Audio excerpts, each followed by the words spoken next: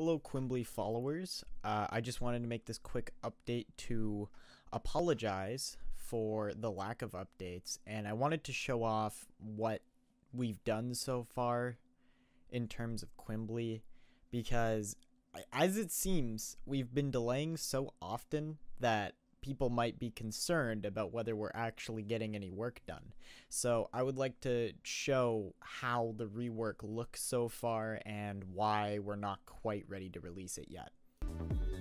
Alright, so here's the new main menu. It randomly generates a character in the background every time you start the game. Um, all these buttons work. Uh, let's start a new game. So we have your making an account. You can type your name here. Uh, here's the new phone UI. It's a phone that has pretty much the real time on it. This is the time for me right now. It is 9:52. Um, there's the location menu. You can call Chubhub to order Victoria. Uh, we have a job. But for all that's there, there is a lot missing. The contacts, Quimbler, inventory buttons don't do anything. And, um, there's no dialogue in the game yet. Uh, talking doesn't work. Um, dating doesn't work. Only feeding and inflation are the only two things that actually function currently. The job agency is absolutely useless. There's nothing to do here. Uh, there, there's girls in the location, so that's nice. Um, pretty much that. Uh, other than the job, which you can work your job. Um, so there's really not a lot of new content at the moment.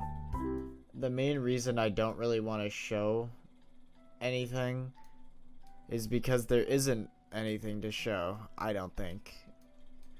I feel like before I post the remake, I want it to be. I just want everything to be absolutely done, or at least to the point where it was in the older updates that you're used to. Because even if the UI looks better, if there's just less content overall, who wants to play that, I guess. So I don't know. That that's my theory on it. Um I can show the back end now. Okay, so uh this here is the developer toolkit here. Um what I would like to highlight is this dialogue editor here. Uh, we're starting the creation of a dialogue editor, but the only issue is it doesn't quite function yet.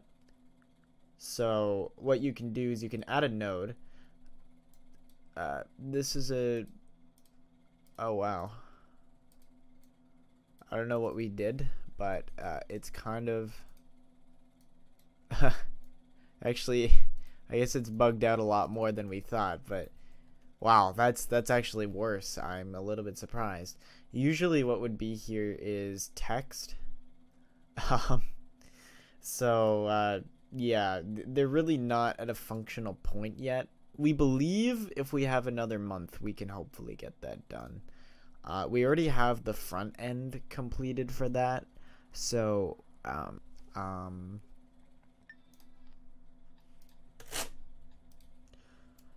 it looks pretty good. It's just we don't quite have the functionality of it yet. We're hoping that the dialogue boxes here will integrate into that.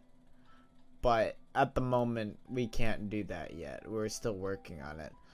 Um, anyways, I, I, I didn't want to leave another delay without mentioning why or any sort of reasons as to uh, the next update will be Patreon only because really we don't have a whole lot to show and i want to make sure that when we get this update out it'll be we'll be able to show more content than you have currently. And I know I've said that before, but I just wanted to reiterate.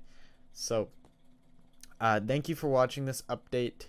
The Belly Direct will be coming next month, so stay tuned for that. Um, thank you.